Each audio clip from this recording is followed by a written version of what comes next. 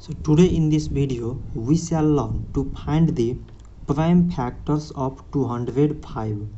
So we have 5 at the last here so this whole number is divisible by 5.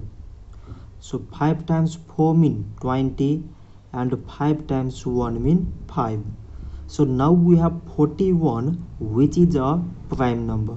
So it is divisible by 41 itself and we get here 1 so 205 is equal to from this side it is 5 times 41 so 5 and 41 are the prime factors of 205 so this much for today and thanks for watching